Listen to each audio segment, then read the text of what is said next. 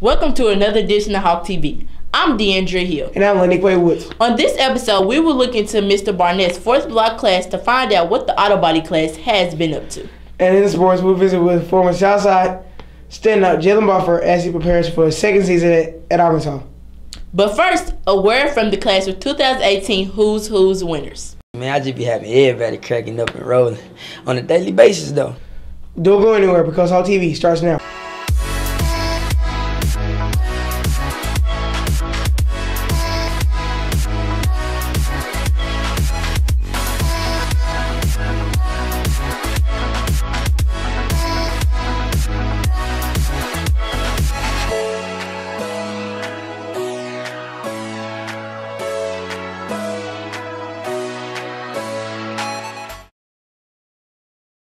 Welcome back. Lanique, did you enjoy being there for fall break? I did, Andrew. What did you do? I went on a field trip with the ROTC cadets in Memphis. Hawk TV reporter Tanaya Burton caught up with some students to find out what's the hardest part of coming back from fall break. Coming back from fall break can be a little challenging. After having a week off, getting to stay up late and sleeping all day. Let's see how some of our students feel about the challenge. I'm here with Vondre Thompson. What is the hardest thing about coming back from fall break? For me, it was it was my birthday weekend, so I had a lot of fun. And me transitioning back into my school schedule, it kind of disappointed me, you know, to go back to that six o'clock, that six fifteen waking up. It's maybe kind of iffy in the morning, but it was alright, I guess. I'm here with Kazana. What is the hardest thing about coming back from fall break? I would say it would be all the tests. Returning from fall break can be a challenge for teachers too. I also caught up with some of our staff to see how they feel as well. I'm here with Lisa Webb. What is the hardest thing about coming back from fall break? Oh, not getting to sleep late anymore and having time to read. I'm here with Coach McNeil. What is the hardest thing about coming back from fall break? Um, the hardest thing is I think just once you get into a rhythm of being here every day, and then we get a whole week off, and then just trying to get back into that same rhythm that you had prior to the break. Thanks. If you're having trouble getting back into the swing, cheer up. Thanksgiving break is just 33 days away. For Hawk TV, I'm Tanaya Burn. When we return, Jerry Hurst and David Bowers provided us with a look at sports. Don't go anywhere. You're watching Hawk TV, the social eye of Southside.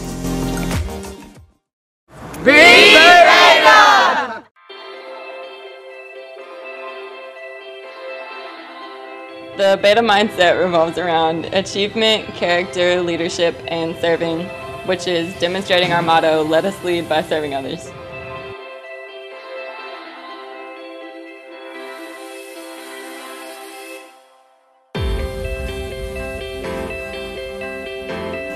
Be a beacon. Be excellent. Be trustworthy. Be active.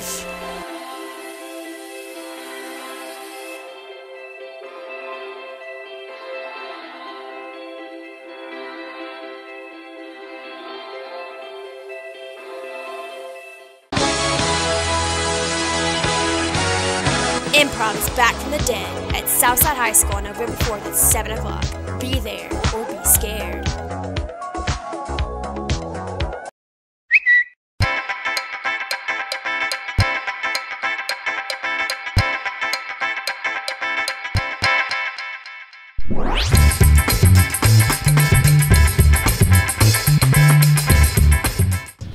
Recently, the Southside Hawks came up with a big district win against Liberty and are, and are now guaranteed a spot in the playoffs. Hawk TV reporter Jerry Hurst has more on this story. Today I'm here with senior JT Russell, and he's going to let us know how he feels about the big win over Liberty. Uh, I think it was a good win. It helped us get back on track with our winning and things. You know, it was a good district win. Helped us stay at the second spot, so that's good. All right, appreciate your time, JT. I'm here with senior Timothy McGowan to let us know about how he feels about the big win over Liberty and the season this fall. As far as the season, it has been going great so far. I mean, it's been a great run out there grinding with my boys. And as far as the Liberty game, I mean, to grind is to be persistent, and to be persistent is to do it to perfection. And the outcome was anonymous. I just went out there, played my heart out, laid my team on top. I'm here with senior Cameron Daniels to let us know about how he feels about the season this far and what are some things they can get better to keep up a good run for the season as they become closer to the playoffs. I don't know. I think we have a pretty good run. You know, going to the playoffs. It's been a few years. And for us to get better, we just need to get smarter on plays, work on our, our work ethic, and uh, that's pretty much it. I don't know what else to put on add to it. Thank you.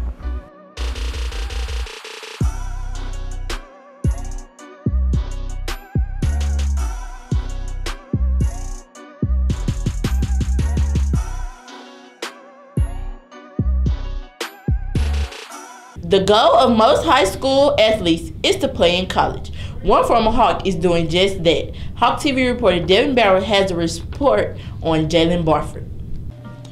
Jalen Barford, a recent graduate and star basketball player at Southside High School, has taken his skills to the next level and he now plays for the Arkansas Razorbacks. I would say work hard, uh, listen to your family, and just stay humble. Jalen expects the Razorbacks to make a deep run in the tournament this season. I expect a deeper run in the tournament. I think we'll win the SEC tournament. I think we'll win our league, and uh, I think we'll at least make it possibly to the Elite Eight. Hopefully, Final Four and make it to the championship. Back in his high school days, Jalen was named West Tennessee Player of the Year. He also led Southside to the Class AA State Championship as a senior. There are many factors that separate him and other basketball players from Jackson. Uh, high school, I would say just um, the mentality, working hard, just wanting to be different from everybody in the city and really the state. And the same way in college too, just having fun, doing what I love to do, and just play basketball. Today, Jalen competes on the biggest college stage. He loves to play on national television, and he also loves to experience SC life.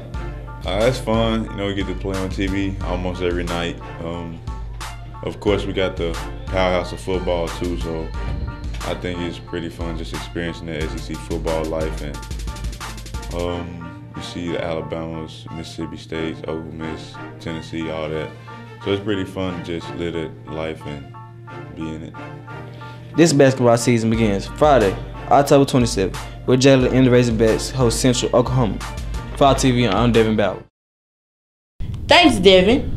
I also caught up with two students from Mr. Burnett's class to see what they're doing this semester. Uh, my favorite project is probably working on Miss Benson's car, which is the one we're doing right now. Um, we uh, fixed her bumper and her and her hood, and we repainted those. And then some of the other guys are working on um, uh, another car for another teacher. I would like to learn how to how to paint. Um, that's something i w- I've been wanting to do, and I think I'm gonna be able to learn that this year. My favorite project is buffing headlights and um, making it uh, looking brand new. Uh, sanding, we sanding uh, um, the car and the truck, and then we use um, body filler. Then when it dry out, then we just sand it. Just let let it dry out for 25 minutes. Any junior or senior interested in taking the ASVAB on November 8th, see Mr. Rod on Tech Prep. The deadline to sign up is October 31st.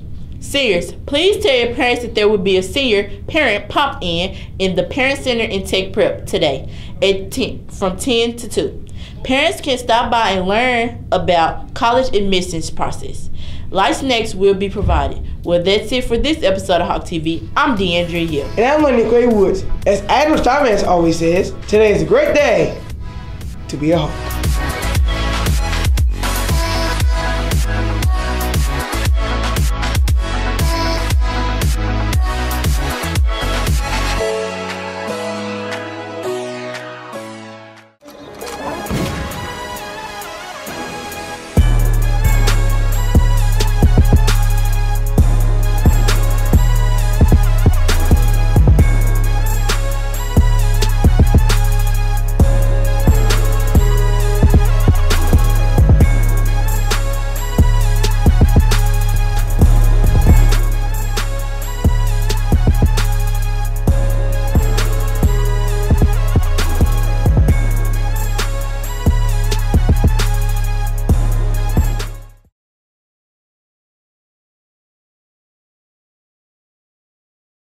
Very good. Put it on the computer.